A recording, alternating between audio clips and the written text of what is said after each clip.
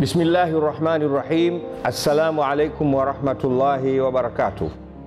Ndugu yangu, leo nataka nikukumbushe jambo moja muhimu sana.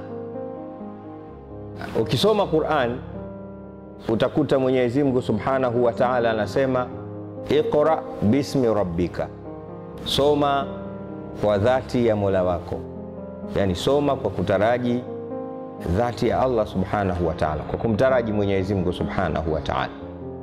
Lakini pia utakutana na aya nyingine Mwenyezi Mungu subhanahu wa taala, kwa mfano anasema faswali lirabbika wanhar, swali kwa ajili ya dhati ya mola wako na pia chinja wanyama.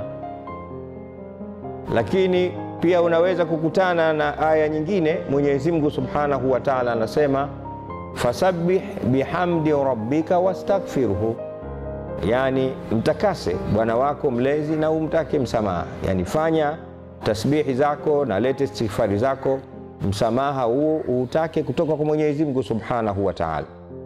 Aya hizi chache na nyinginezo zinazofanana na hizi zote zinalenga na kututaka sisi tufanye mambo kwa ajili ya Allah tu.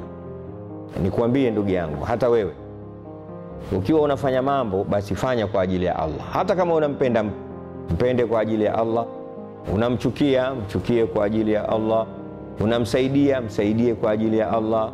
Ikiwa wewe ni mwalimu amsomesha mtu msomeshe kwa ajili ya Allah, na wewe unayesoma soma kwa ajili ya Allah, usisome kwa ajili ya shahada na kupata kazi na mambo mengine na kusifiwa. Yaani kila kitu fanya kwa ajili ya Allah. Kwa nini?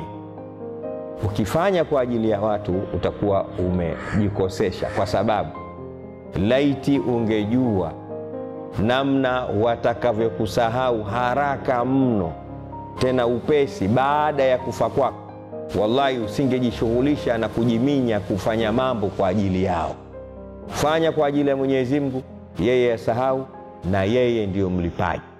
Sisi binadamu Kiarabu tumeitwa al-insan kwa sababu ya wingi wa kusahau na ndiyo Mwenyezi Mungu Subhanahu wa Ta'ala akasema, wala tansau lfadla bainakum, na wala msisahau mema na yale mabora mnaofanyiana. Kasema hivi kwa sababu Mwenyezi Mungu Subhanahu wa Ta'ala anajua fika binadamu ni wengi wa kusahau.